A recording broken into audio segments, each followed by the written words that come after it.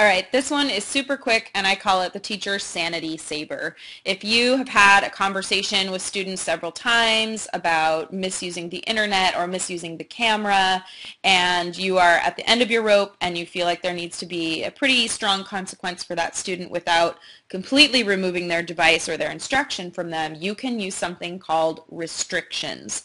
And this, I think, is a great go-to when you are really frustrated, but you still want your student using that iPad for instruction. So we're going to do something similar to what we did in the guided access video. If you haven't checked that one out yet, that's kind of a different set of tools that would be really, really valuable to any teacher with iPads in the classroom. This one works a little differently. We're going to start by going to settings right here and um, I'm going to make sure that I'm on general again over on the left hand side and under general if I uh, scroll down just a bit I see something toward the bottom called restrictions. I'm going to tap on restrictions.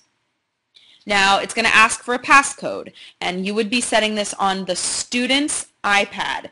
Only the student who was causing a consistent disruption or really needed some sort of um, third or fourth or very serious consequence for misusing the iPad and um, kind of having maybe inappropriate posts online or misusing the camera or the internet. So you are going to set a passcode that you and only you will remember.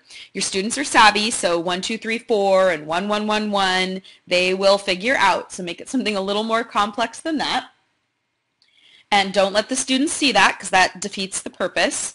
And so now what I can do is I can, on this student's iPad, simply turn off access to any particular um, one of these iPad components. So for example, I could simply turn off the internet for them. Now be careful, that's probably their number one research and learning tool, so we would only use this in a pretty extreme circumstance.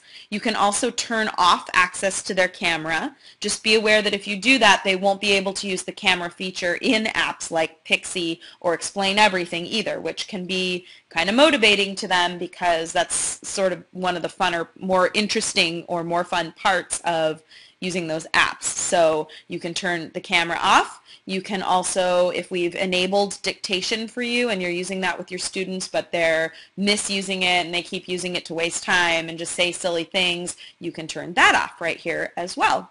And if you feel like they've earned the privilege back or after a certain period of time you've agreed to let them try again, you can come back in the exact same way and turn either all restrictions off right here by disable restri restrictions or you can go back in and just turn on or turn back on one of those components that you've turned off. So for example, I'm going to try turning off Safari for this student. They were very mischievous, kept misusing the internet. I put all my warnings in place. I used my classroom systems like STEPS or phone calls home, things like that. And Safari is still a huge issue. So I'm going to turn Safari off for this student. And now I am going to go out to my home screen.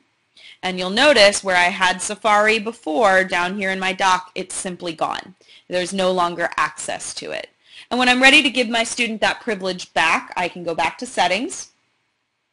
Uh, I'm in general, so I'm going to go back to restrictions.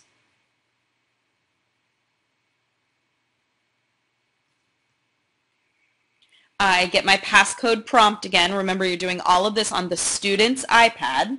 So I put in that top secret code and now they've earned the privilege back so I'm going to turn Safari back on. And now when I go back to my home screen you see that Safari has reappeared. So that's how you use restrictions to help your students make some better choices and as a consequence for negative uh, behavior or misuse of the app um, but without taking the entire iPad away from them. So that's just kind of a tool that you can have in your back pocket. And if you haven't already checked it out, I would love it if you would check out our guided access tutorial as well because that's another thing that can really help save you a little bit of sanity and keep you allowing the students